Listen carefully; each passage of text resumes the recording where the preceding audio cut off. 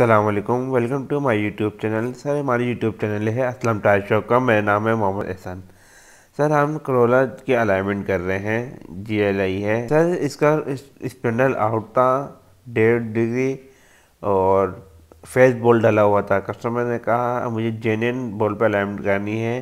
तो फिर हमने इसका टायर खोल के स्पेंडल सीधा करा है। अब वीडियो शुरू करते हैं। आप देखें, वीडियो पसंद आए तो हमारे चैनल को सब्सक्राइब करें, वीडियो लाइक करें। सर, सबसे पहले इसका ब्रेक शू खोलेंगे ये पूरा खोलने के बाद हम इस, फिर अलाइनमेंट का सामान लगाएँगे, इस और पुलर से फिर इसकी अलाइनमेंट करेंगे। पूरी वीडियो देखें, इंशाल्लाह आपको समझ में आ जाएगी। सर, ये ब्रेक शू खुल गया है। इसको हम हटा के साइड में रख देंगे। इसके बाद पुलर का सामान लगाएँगे। ये हम सामान लगा रहे हैं। ये सब लगाने के बाद हम इसका इस पंडल बिल्कुल सीधा करेंगे, ताकि अलाइनमेंट सही हो और फेस बॉल जो है वो हम निकाल देंगे, इसके बाद जेन बॉल लगाएँगे। सर सबसे पहले इस मशीन को हम ज़ीरो पर सेट करेंगे। ये ज़ीरो पर सेट कर दिया, अब हम फेस बोल्ट खोल रहे हैं। ये हमने बोल्ट भी खोल दिया। ऊपर वाला भी, अब नीचे वाले वाले भी खोल रहे हैं। सर, ये नीचे वाला भी खोल दिया। सर, आप चाल देखें, इसमें कितनी चाल नज़र आ रही है।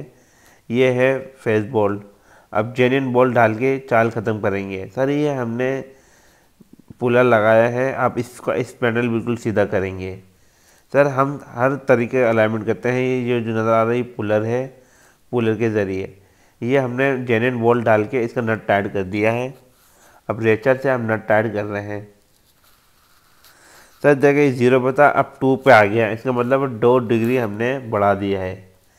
दो डिग्री करने के बाद स्पेंडल बिल्कुल सीधा हो गया है। यानी व्हील अलाइनमेंट बिल्कुल सही की है हमने। और ये रेचे से हम फुल टाइट कर दिया हमने।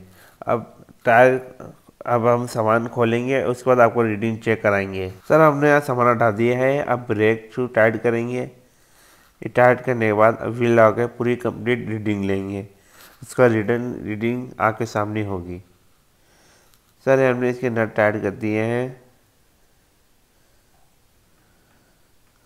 आप देख लें, और ये बिल्कुल सेट कर दिए है।